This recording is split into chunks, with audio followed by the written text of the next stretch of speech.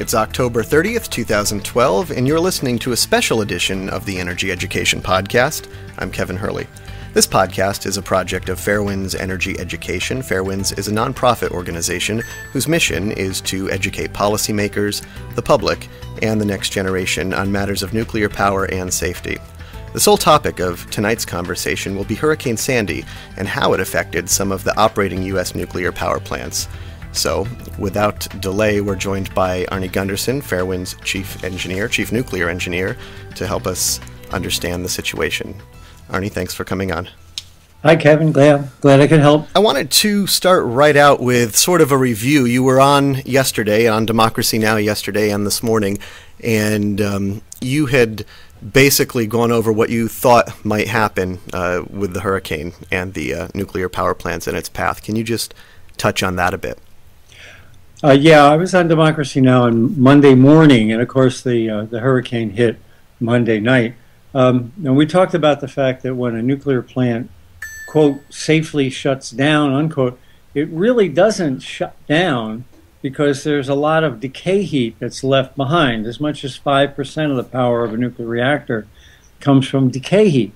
So uh, when you hear the platitudes about a nuclear plant safely shutting down, that means the rods dropped in or shot up and cooled the and, and stopped the chain reaction, but there's still a lot of heat that has to be dissipated. You know, then I talked about this, um, uh, what I expected would happen, which would be something called the loss of offsite power. Uh, these plants are robust enough that they're not going to get blown over by an 85 mile an hour wind. So it never was a question of the effect of the wind on the power plant. It was actually a question of what the wind would do to the transmission lines. Uh, sure enough, um, after um, the, the, hurricane hit, many transmission lines throughout the country uh, collapsed and left many power plants in the uh, uh, in the area uh, without offsite power. Now, what's supposed to happen then was that the emergency diesels turn on and um, and begin to provide power to the vital uh, systems. Well, what I talked about on Democracy Now was that many of these plants, because it's October and that's a time when power plants refuel, uh, had their fuel not in the nuclear reactor but in the spent fuel pool. And 40 years ago, when these plants were being built, the Nuclear Regulatory Commission decided that uh, you didn't have to provide electricity to the pumps that cool the nuclear spent fuel pool. Um, so you had all this high level nuclear waste in the pool but in the event you lost offsite power, the NRC said, well, that's okay. Um, you don't have to provide power from the diesels. That was a, um, uh, I guess, the first eye opener for the audiences around the country based on the emails we're getting. And the other thing I talked about was the storm surge. Um, and, and I particularly talked about Oyster Creek for both of these, um, that a storm surge could likely uh, uh, hit the intake structures and uh, and destroy some vital cooling pumps inside. That's what you said at the time. What actually happened now that we're a day into it? Well, everything I said hap- would happen did happen. Um, at Oyster Creek, the uh, storm surge um, got so high that uh, it, it uh, there's there's conflicting reports. W- one report says it was six inches below these vital pumps called the service water pumps. Another report says it was four inches above these vital pumps. But in any event, it, the, the vital pumps that cool the nuclear plant were, uh, were compromised by the storm surge. So that, but, but in addition, at Oyster Creek, the uh, power from off-site was lost um, because of high winds. And then at Oyster Creek, they um, at least considered, according to Reuters, uh, running fire hoses into the spent fuel pool to keep it cool. You see, once those pumps that um, uh, the electric pumps are shut down and there's no way to cool the pool, the only way to provide makeup water to the pool is through um, is through fire pumps. Now, you know, to my way of thinking, you know, the, fire pumps and nuclear power plants really don't belong in the same sentence. Nuclear Regulatory Commission lexicon uh, is perfectly acceptable to uh, make up for the evaporation from a spent fuel pool by uh, by spraying fire water into it. But of course, the Oyster Creek plant was shut down for refueling, so if it had lost uh, cooling pumps, that would not have affected the reactor in this particular situation, right? Well, the, the Oyster Creek plant was shut down for refueling, and that's actually what made it um, uh, potentially more dangerous uh, because all the nuclear fuel was um, not in a place where the diesels provided electricity. Um, so while there was less heat uh, because the nuclear fuel was in this in this high level waste pool, the um, the fact of the matter is that that, that pool was probably evaporating as much as uh, 10,000 gallons a day, uh, and likely even more, 15,000 gallons a day of water, so that the fire pumps were needed to make up for the, the water that was um, that was steaming off the fuel pool. Even um, uh, even Vermont Yankee, um, which is a very similar design, um, evaporates off about 3,000 gallons a day and it's been shut down. It, the last time fuel was in its fuel pool was uh, more than a year ago.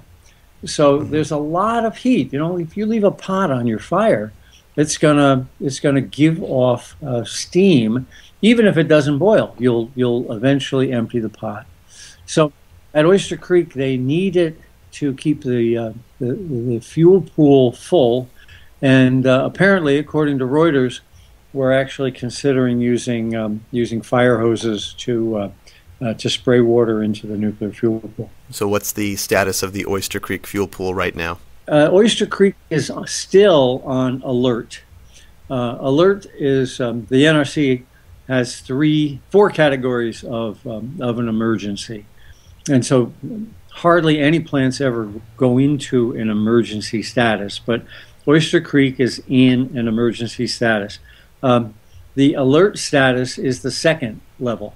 One is relatively minor, four is god awful, and um, the, the, two and three are, are in between. What two means is that nuclear safety systems are in danger of being jeopardized, um, and uh, that's a major concern. So here we are, more than a day after the uh, uh, after the, the tidal surge um, came in and um, Oyster Creek is still on um, uh, on alert status. So I understand the problem with the fuel pool and not being able to cool it because of the loss of offsite power.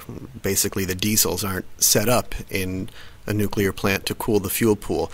But in this situation, you're saying that the water, the storm surge, came up. Uh, there's two conflicting reports, either four inches above or six inches below the water pumps. To me, that seems like an incredibly close call. What if the reactor were running in that type of situation?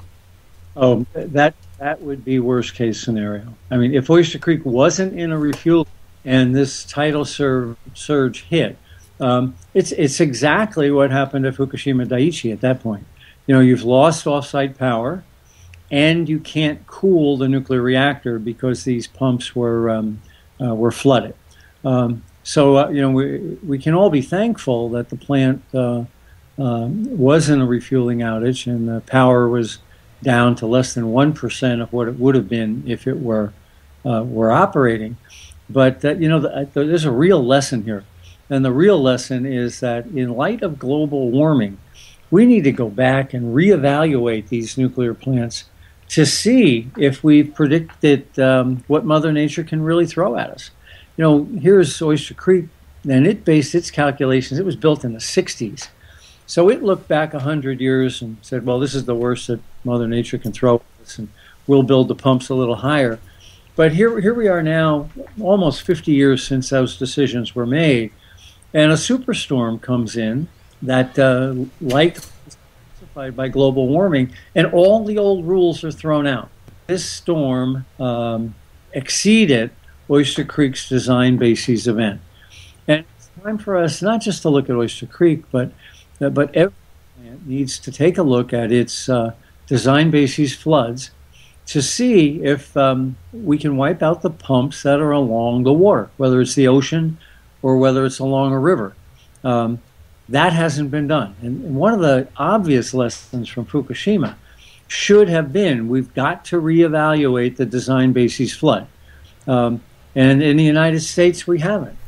Now, here we have uh, Congress just questioned four NRC commissioners, and they all said, uh, with the exception of the new chairman, they all said that they felt that the United States regulatory system and the United States um, nuclear industry, the proponents of nuclear power, promoters of nuclear power, uh, were much better than the Japanese, and an accident couldn't happen here. Well, here we've got all of the precursor events to Fukushima. We've got a loss of off-site power, and then when the plant went over to its diesels, it needed to rely on the cooling system, and we have what's called the loss of the ultimate heat sink. So the two precursor incidents of Fukushima happened at um, uh, at Oyster Creek, and yet we have four NRC commissioners who are telling us it can't happen here. Um, I think we really need to evaluate, reevaluate our regulatory system and, um, and, and, and give our regulators some teeth to do what's right as opposed to uh, uh, mimic what the nuclear promoters want to hear. So it sounds like a little bit of luck got us through this one. Where do we go from here? I don't know how long Oyster Creek will be shut down as a result of this. Uh, they were in a 21 day outage, and um, I'm sure they will be shut down longer than that because of the flooding in the intake structure. Um, but if, it, if all they do is clean up the intake structure and start back up, they haven't learned a single lesson. Uh, one would hope that they reevaluate their design bases and say, oh my God, we, we built the intake structure too low. We've got to get it up higher or we need submersible pumps, pumps that run underwater. Um, if that happens, Exelon has already said uh, a year and a half ago that any more expenditures on Oyster Creek and they'll shut it down. You know, I think that's really the key here. In the back of regulators' minds are that they risk losing some of these old single unit nuclear plants because uh, the people that own them aren't going to spend any more money on them. So you know they'll they'll stick with outdated design bases that risk the public's health and safety, but um, uh, but keep these plants running.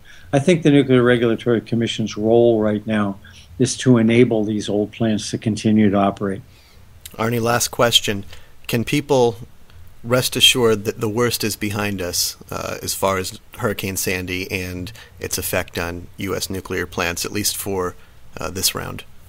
Yeah, you know, I think we should we can say uh, Oyster Creek is not going to become Fukushima. That there's enough attention, and now that they've rolled in, uh, you know, fire pumps to keep the fuel pool cool, um, you know, it, it will uh, it will continue to be cooled, albeit abnormal, still be cool. Um, we still may see some flooding on the inland plants, especially along the Susquehanna River. Um, but I would suspect that um, management will be on the alert and have um, you know backup uh, backup pumps in place. Um, I think we've seen the worst. Yes. All right, Arnie. Thanks so much for coming on tonight. All right, that I could, Kevin. Thanks.